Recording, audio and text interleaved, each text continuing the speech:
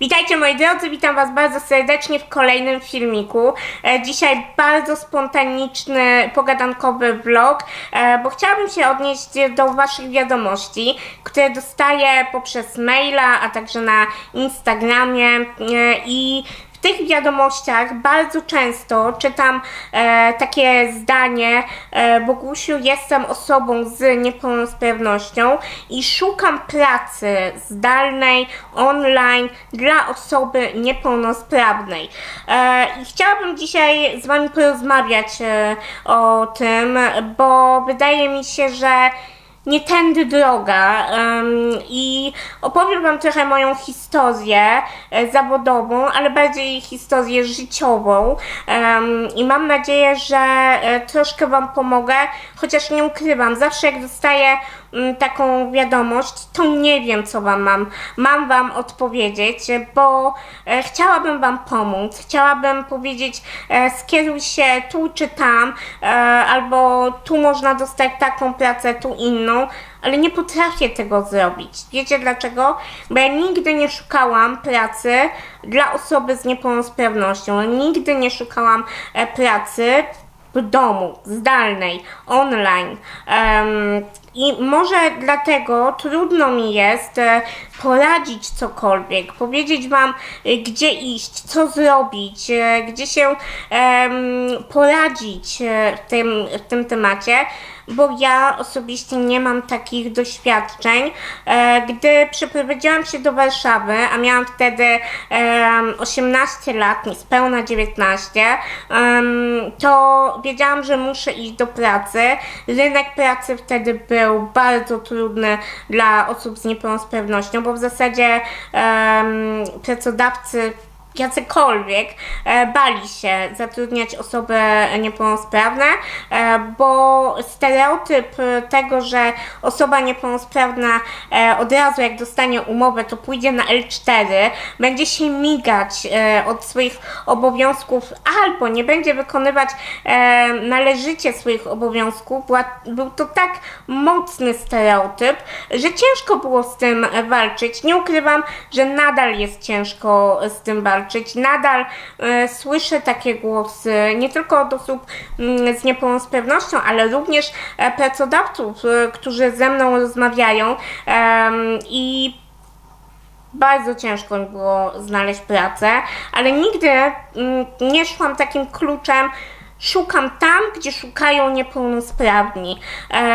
bo wydawało mi się, że nie po to pojechałam na studia, stanęłam ramię w ramię z osobami całkowicie sprawnymi, e, by teraz szukać e, wsparcia w instytucjach, które zajmują się tylko i wyłącznie osobami z niepełnosprawnością. Oczywiście miałam epizody, tak jak na przykład e, staż, który przeszłam dzięki Fundacji Integracja, ale o tym to już się bezpośrednio dowiedziałam na studiach w biurze osób niepełnosprawnych, że jest taki program, e, w którym można mm, zapisać się na taki trzymiesięczny staż w jakiejś firmie, organizacji i rzeczywiście to była jedyna sytuacja, w której dzięki fundacji, Fundacji Integracja, mm, byłam zatrudniona przez trzy miesiące w Koalicji na Rzecz Osób z Niepełnosprawnością. Współprowadziłam e, biuro, bardzo dużo się tam nauczyłam o kontaktach z interesantami, z e, odpisywaniem maili różnego rodzaju, z tym jak robić research e, i rzeczywiście to był bardzo fajny czas, bardzo też ciężki, bo ja wtedy łączyłam studia dzienne mm, z pracą w Koalicji na Rzecz Osób z Niepełnosprawnością i ja pamiętam, że byłam wtedy tam trzy dni w tygodniu, od rana do południa, popołudnia, a potem jechałam na uczelnię, a kolejne dwa dni pracowałam e, z domu popołudniami aż do późnego wieczora, mm, także e, to nie było takie super łatwe, żebyście sobie nie pomyśleli. Ogólnie e, połączenie pracy zawodowej ze studiami, z jakimiś obowiązkami no, nie jest łatwe i myślę, że dla nikogo nie jest, ale bardzo się cieszę, że podjęłam się tego stażu, e, bo dużo się nauczyłam, ale to, był, to, była, ale to była chyba moja mm, trzecia praca z tego, e, co pamiętam, w momencie, kiedy trafiłam do e, Warszawy. Moją pierwszą pracą było rozdawanie ulotek. E, pamiętam to jak dziś. Rozdawałam w centrum Warszawy ulotki i ludzie e, bardzo często myśleli, że ja e, zbieram pieniądze, żebram, e, a ja rozdawałam ulotki, taką pracę wykonywałam. Oczywiście płacono śmieszne pieniądze i nawet nie do końca wiedziano, że jestem osobą z niepełnosprawnością, bo w momencie, kiedy zgłosiłam się do tej pracy, wysłałam CV i dla nich najważniejsze było to, że mam w papierach student um, i pojechałam odebrać ulotki. Oni dopiero wtedy e, zobaczyli, że jestem osobą z niepełnosprawnością e, i nie ukrywam, e, że ta praca była ciężka. Wykonywałam ją e, jakieś dwa trzy tygodnie, nie codziennie, ale y, łączyłam to właśnie ze e, studiami e, i bardzo się cieszyłam z tej pracy. Powiem Wam, że e, rozdawałam te ulotki z takim bananem na ustach i wiedziałam, że dzięki temu będę mogła zapłacić powiedzmy za kolejny miesiąc w akademiku, poradzić sobie z różnymi kwestiami, więc walczyłam, naprawdę chciałam jak najlepiej wykonywać tą pracę. Po jakichś dwóch, trzech tygodniach okazało się, że to nie jest taka prosta i przyjemna praca, ponieważ pogoda była dużym utrudnieniem. E, na przykład, e, gdy padało, e, to pamiętam, chowałam się za takim, pod takim daszkiem przy banku. To był chyba bank, tak mi się wydaje. I wtedy rozdawałam te ulotki, ale było okropnie. Ja tego nie cierpiałam, e, no ale miałam tą e, motywację i taką siłę wewnętrzną, żeby działać, żeby rozdawać te ulotki, żeby pracować. Gdy już się zmęczyłam e, i stwierdziłam, że naprawdę już nie dam rady, robiła się, wiecie, już taka jesień pod zimę, dochodziło i stwierdziłam, że no zimą to ja nie dam rady e, rozdawać ulotek, mm, no to zaczęłam szukać innej pracy. E, trafiłam na call center i pamiętam, że pracowałam wtedy dla sieci Orange i na słuchawce, nie wiem czy ktoś z Was kiedykolwiek mnie usłyszał, e, ale mm, proponowałam różne oferty, pomagałam e, klientom, przełączałam do różnych e, działów i pamiętam, że na początku też miałam ogrom motywacji i bardzo chciałam robić cokolwiek, tak naprawdę wszystko, każda praca, która wpadała gdzieś tam w ręce, dla mnie to było wyzwanie, ale też miałam taką dobrą pozytywną energię, by, by robić to, by pracować. Mm, gdy trafiłam na staż trzymiesięczny, to zobaczyłam, że można pracować w spokoju, e, w bardzo miłej atmosferze, bez ciśnienia, bez klepania formułek e, i przy tym robienie czegoś dla innych. I wtedy troszeczkę podwyższyłam sobie um, tą poprzeczkę e, i powiedziałam sobie, że chcę robić coś dla innych, chcę robić fajne rzeczy. Um, no i tak krok po kroku um, dotarłam do momentu i to było 7 lat temu, gdy 8 lat temu, e, gdy zrozumiałam, że mnie najbardziej kręci marketing, PR, e, wszystko co jest związane z promocją, z takim socjologicznym podejściem e, do sprzedaży, do kontaktu z ludźmi. Myślę, że mm, bardzo dużo mi dało również to, że zaczęłam nagrywać na YouTubie, bo zobaczyłam, że YouTube ma moc i dzięki YouTube'owi można poznać wspaniałych ludzi. E, ogólnie odkryłam moc e, social mediów i mm, wtedy postanowiłam sobie, że pójdę na kierunek socjologia mediów. Potem skończyłam e, dodatkowe kursy z mm, marketingu, z social mediów. E, ja tak naprawdę do dzisiejszego dnia e, się kształcę, czytam różne nowinki. Mm, jeżeli mam możliwość, to zapisuję się na różne szkolenia online z e, nowoczesnych mediów, e, ze sprzedaży, z PR-u, e, bo wiem o tym, że to jest inwestycja we mnie. Zmierzając do końca dzisiejszego filmu, e, chciałabym Wam powiedzieć, że niestety nie mogę Wam dać recepty na to, jak znaleźć pracę, gdzie szukać pracy, jeżeli jest się osobą z niepełnosprawnością. Za to mogę Wam powiedzieć, że bez względu na to, czy jesteście osobami sprawnymi, czy też z niepełnosprawnością, warto inwestować w siebie. I nie ma pracy, która hańbi.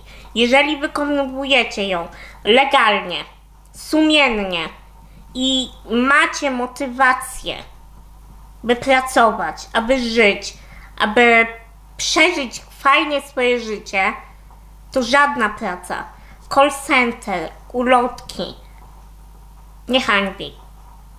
Więc jeżeli szukacie pracy, to nie szukajcie ją tam, gdzie jest napisane dla osób niepełnosprawnych, tylko szukajcie, gdzie się da. Bo być może znajdziecie miejsce, w którym będziecie się wspaniale czuć e, i wasz przyszły pracodawca e, nie będzie miał problemu z tym, że jesteście osobami z niepełnosprawnością, a dzisiejszy rynek jest dużo prostszy niż te kilkanaście lat temu, bo teraz dużo więcej się mówi o osobach z niepełnosprawnością, o ich prawach, o tym, że jesteśmy takimi samymi ludźmi jak każdy. Chcemy kochać, być kochani, chcemy pracować, chcemy podróżować, chcemy żyć pełną piersią e, i do tego potrzebna jest praca zawodowa.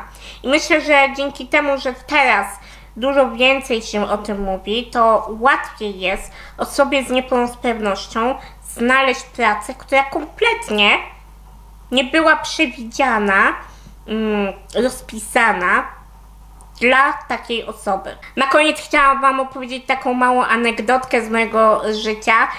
Moja obecna praca, w której jestem już od 4 lat, była pozyskana całkowicie przypadkowo. A wiecie jak?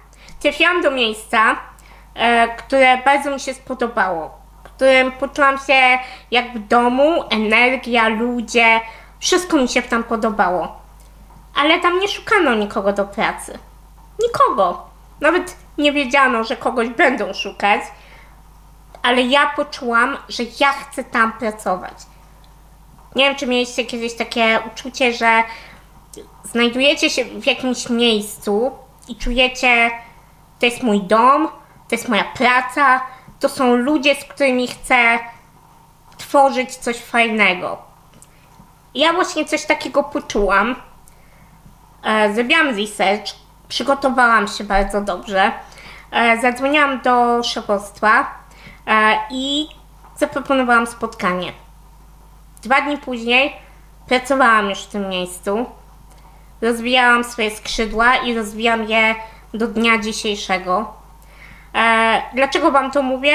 Dlatego, by nigdy nie zakładać, że gdzieś Was nie chcą, że to nie ma sensu, że skoro tam, gdzie chcemy pracować, nikogo nie szukają, to nie warto złożyć swojego CV.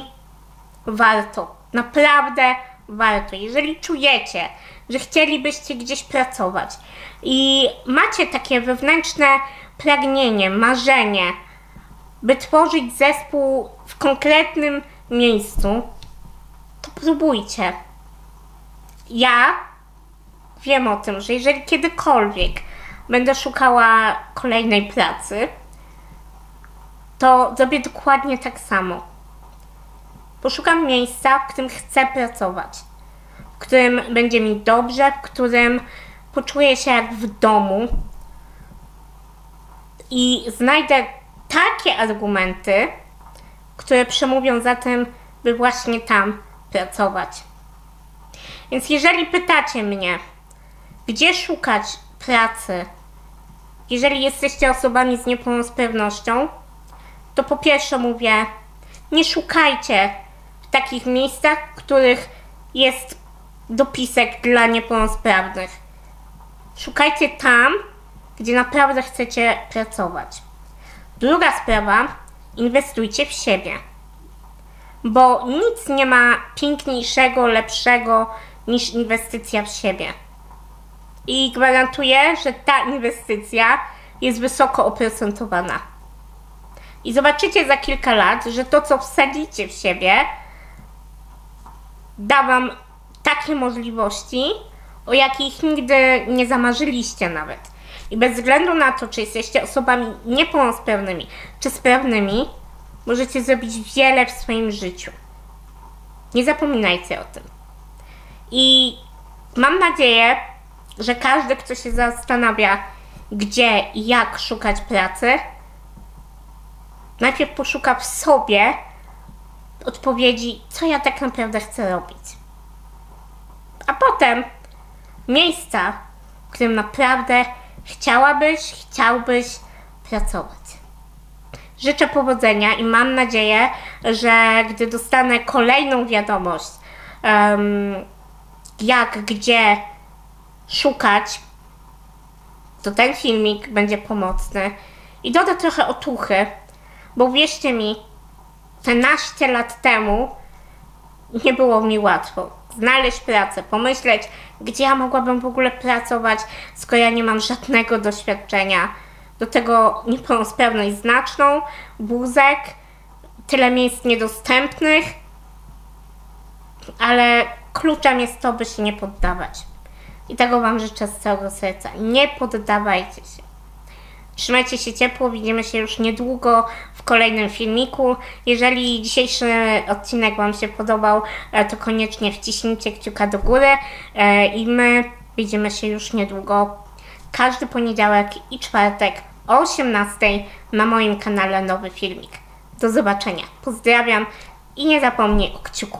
Buziaki. Pa, pa.